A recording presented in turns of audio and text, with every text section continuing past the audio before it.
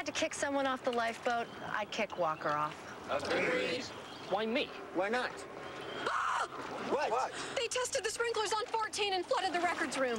What about the audits? We're dead. No, we're not. We're not. Last month, every important document we have was scanned into a secure database we can access from anywhere. Okay, wow. So it means I can stay, right?